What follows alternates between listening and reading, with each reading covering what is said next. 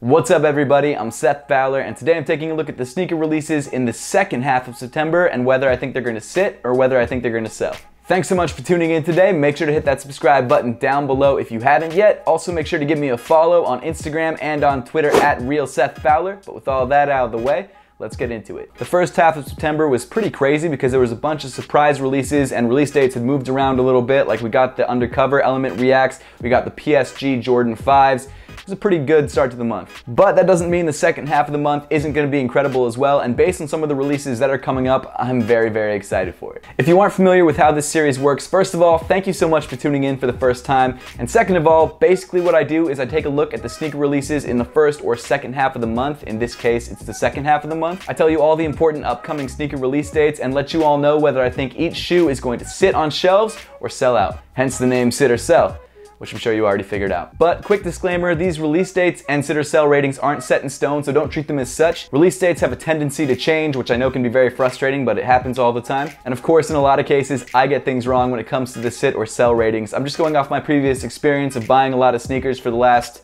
almost decade. So please don't base your buying decisions off this video. Buy a sneaker because you like it and not because some random dude on the internet told you to. But with that being said, let's jump right into the list. So the first day of the second half of the month, September 19th, we've got two more Nike releases, both of which are new colorways of the Nike EXP X14s. You've got a blue chill colorway and an emerald rise colorway. In my opinion, these are actually both pretty good looking sneakers. I've never owned a pair of EXP X14, so I just don't know how they feel on feet, but I've heard mixed things from people all around the internet. However, I think think there is actually a pretty big consensus that people do actually like the way this sneaker looks, and I think both of these colorways do look good. But unfortunately, as we all know, hype does seem to drive the sneaker market, and these shoes really aren't anything special, and they don't really have any kind of crazy backstory, so for that reason, I think both of these colorways are gonna sit. Moving on to September 20th, we've actually got a bunch of stuff dropping. First up, we've got the Nike Air Max Pompidou in gray. I had no idea what Pompidou referenced, so I looked it up, and apparently it's the Pompidou Architectural Center in Paris. So there are two colorways of this Air Max 1 dropping. We've got a gray colorway and then this white and blue colorway, both of which are actually really nice looking sneakers. And even though a lot of people probably don't know anything about the story behind the sneaker, I know I didn't, these sneakers will most likely be pretty limited, and I think that white colorway is gonna remind some people of the original Parra colorway that came out a couple weeks ago. So I think there's the potential for both of them to sell out. Next up, we've got a drop of the Nike LeBron 16 in the bread colorway. The Nike LeBron 16 is the newest in the LeBron line of sneakers, and overall, it's a pretty interesting looking shoe. Aesthetically, I don't like it as much as the 15. I think the 15 was really unique and really nice looking. This one definitely looks a little bit more performance driven, so I'm not as big of a fan of it aesthetically. But to be real with you guys, this shoe already looks a million times better than like five of the other LeBron sneakers, so I'm not mad at it. What were they thinking with the LeBron 13? Most likely this is going to be a pretty widely available sneaker, so it shouldn't be too hard to grab. And even though it is a new LeBron 16, I just don't think that alone is enough to really drive sales of this shoe. So I think it will probably sell well, but I don't think it's going to sell out. Moving on to a trio of shoes dropping on September 20th that I already covered in the last video because the release date changed. We've got the Nike acronym Presto Mids. As some of you know, we had a surprise drop of the pink and blue colorway on the sneakers app about a week ago, and so I guess the shoe has seen sort of a very limited small release, but the entire collection of all three colorways is getting a much wider release on the 20th. Wider release is definitely a relative term because all three of these colorways are going to be very, very limited. I actually got the pink and blue pair from StockX, so make sure to stay tuned for a review on that, and in my opinion, that's definitely my favorite of the three colorways because it's so crazy and so out there, but there's definitely something to be said about that gray and green colorway and the gray and black colorway. I think they all look nice, and you can go to StockX right now and check the resale price of each one of these three colorways, and it's pretty easy to tell that each one of these shoes is gonna sell out. Moving on to September 21st, we've got the women's Air Jordan 3 releasing in maroon. I think this shoe is fire and I'm very jealous that this is a women's only release because I think the shoe looks incredible. Ever since Jordan Brand started their push towards women's footwear, we've definitely noticed an uptick in releases. Some of these shoes like the satin shattered backboards have been incredible. Other ones like the Rebels have been just total trash. But I can definitely say that there have been more good releases than bad releases and this design team is definitely putting out some really great stuff. This Jordan 3 is no exception and I definitely think it's gonna sell well. However, do I think it's gonna sell out? Probably not.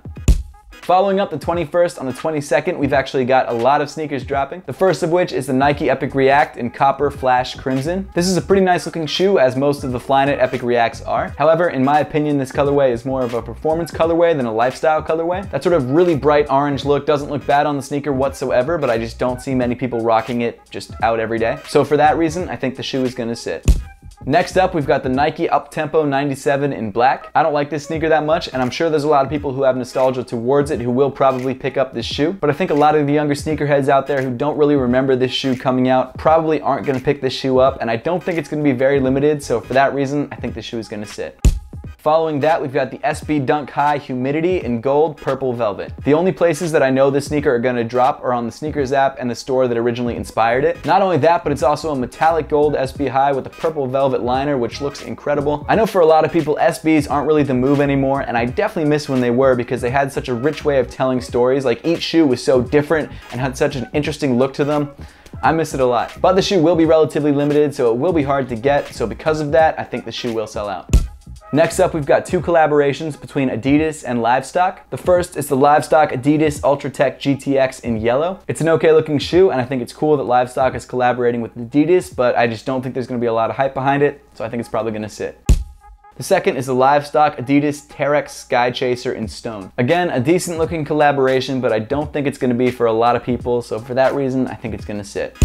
Also dropping on the 22nd, we've got another Adidas collaboration, and that's the SNS Adidas NMD R1 Datamosh 2.0. A couple years ago, SNS and Adidas released the original Datamosh collaboration on the NMD R1, and that's back when the NMD R1 was a huge, huge hit. So the fact that they released a really good looking collaboration on a shoe that was just unbelievably popular meant that the shoe was extremely coveted. Now the hype on the NMD has obviously died down a little bit, so the shoe probably won't be as crazy popular as it was a couple years ago, but people are still gonna wanna grab it There are two colorways of the shoe dropping, maroon and green and black and blue. I love the way both of these sneakers look and I'd be happy with either colorway. So I'm definitely interested to see if I can actually grab a pair because I'm gonna be in London for London SneakerCon when they drop.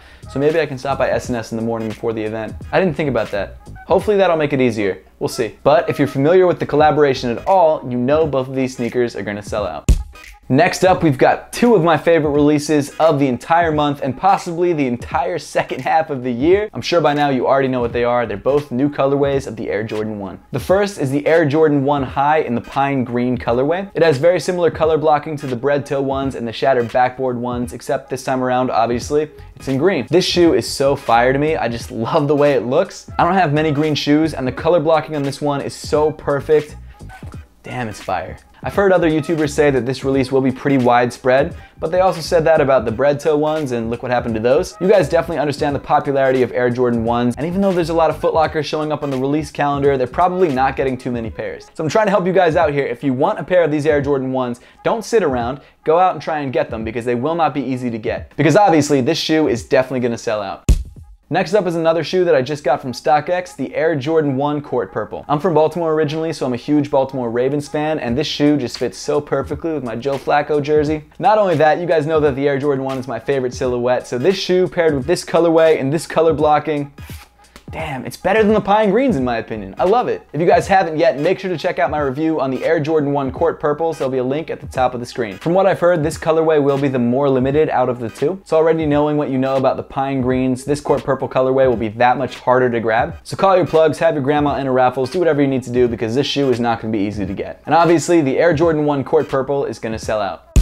Moving on to September 27th, we've got the women's Nike VaporMax Run Utility. I hate to say this, but I actually kind of like this shoe. I usually don't like VaporMaxes. I kind of think they're garbage, but this one's not bad. As of right now, it's also only releasing for women.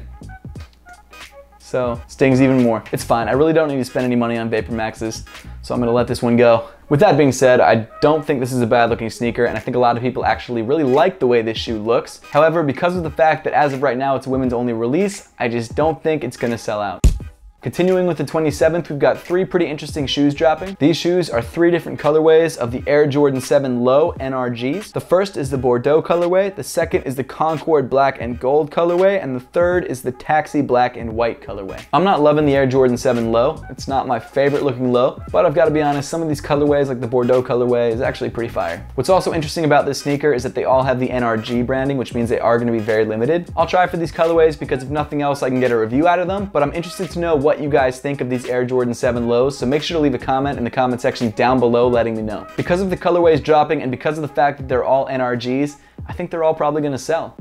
Moving on to September 28th, we've got the Nike Air Foamposite 1 in denim. I, uh, I don't love this shoe. I don't personally have a problem with denim shoes. You guys can see that I have the denim Levi's 4s back there, but this particular denim treatment on this Foamposite uh, don't think it looks very good. In the same way those denim LeBron, I think 11s looked, it just didn't look good. In my head, I'm reminded of like the denim LeBron 11s, I think they were, that just looked awful. These guys just don't look good, and unless they're like stupid limited, I don't think anyone's really gonna want them. So because of that, I'm gonna have to give these shoes a sit.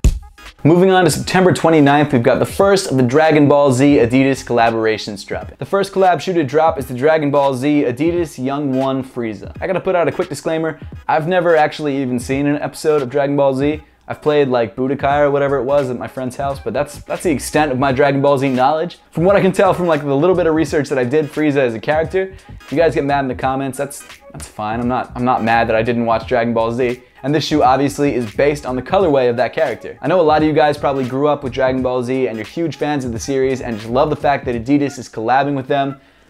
Uh, it doesn't really do anything for me. I may try and grab the young ones for a review, that's about it. But because of the popularity of the show and of the sneaker, I think the shoe is probably gonna sell out. Next up is the Dragon Ball Z Adidas ZX500 RM Goku. Okay, I know who Goku is. I've, I've played enough of the game to know who he is. The shoe's fine. Again, I don't think people are gonna be buying the shoe because of the actual shoe that it's on. I think they're gonna be buying it because of the collaboration. And again, I think there's enough people who are fans of the show and who are fans of Goku because apparently he's like a main character on the show. Guys, seriously, I don't know anything about this show, but I think there's enough fans of the show that this shoe is also gonna sell out as well. Got two releases, both of which are Jordan 20 Flyknits. You've got the black gum colorway and the olive orange colorway, both of which I actually don't think look bad. Jordan Brand taking their original silhouettes and recreating them in Flyknit has always been sort of a point of contention for a lot of people because they just don't like that this shoe, in their eyes, is being ruined. In some cases, I think this Flyknit treatment has turned out very well, like with the Jordan 3 Flyknit and even the Jordan 1 Flyknit. Some people might not agree with me on that one. And honestly, in my opinion, I actually think this is one of the best looking Jordan Flyknits because I wasn't a huge fan of the 20 as it was, and it already looked like a pretty futuristic silhouette. So just adding Flyknit to this sneaker kind of makes it look even more futuristic. So in that way, I actually really kind of like it a lot, and I also think the colorways that they chose to go with this sneaker fit really well. But I'm just really not sure how people are going to take this release, whether they're going to rush out to grab it or whether they're going to kind of shy away. I'm just not sure. However, in order to give you guys a sit or sell rating, I am gonna make a decision based off what's happened with the previous Flyknit releases where the first couple colorways completely sold out and then the remaining colorways kind of just didn't. So because of the fact that this is a new Flyknit silhouette, I think the shoe does have the potential to sell out. Next up on September 30th, we've got the Nike PG 2.5 in black and photo blue. I really don't have anything to say about this shoe. It's a black and blue PG 2.5. It's not gonna sell out. But before we end the month, there are two more notable releases that don't have release dates yet, but have pretty much been confirmed to release in the last week of September. And these two are both pretty big releases, which I'm sure you guys are already pretty familiar with. They're the off-white Nike Blazers in black and gray and canvas and orange. The colorways are also known as the Grim Reaper colorway and the All Hallows Eve colorway. The Grim Reaper or black and gray colorway is by far my favorite out of the two. It's just a clean looking colorway and the Blazer is already a pretty clean sneaker as it is, so paired together it just looks really good. The All Hallows Eve is fine. I'm not a huge orange fan and I just don't think this colorway is that great. But regardless, if given the opportunity, I will buy either of these sneakers because I love the off-white blazer. By now, I'm sure you guys all know the drill. Off-whites are extremely limited, extremely difficult to get. Everyone wants them. And these colorways won't be any different. They're definitely both gonna sell. But that pretty much wraps up the list for today. I'd love to know your thoughts on the sneakers that are dropping in the second half of the month and which sneakers you're looking forward to most. So make sure to leave those comments in the comment section down below. And as always, thank you so much for watching. Please make sure to give this video a thumbs up if you liked it. Subscribe down below if you haven't yet. And I'll see you all in the next one.